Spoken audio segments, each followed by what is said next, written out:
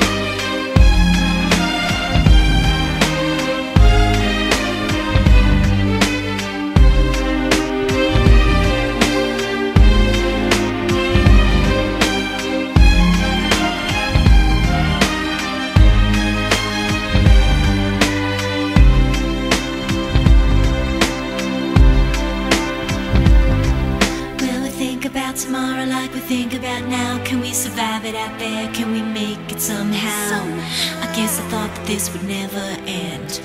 And suddenly it's like the women and men. Will the past be a shadow that will follow us round? Will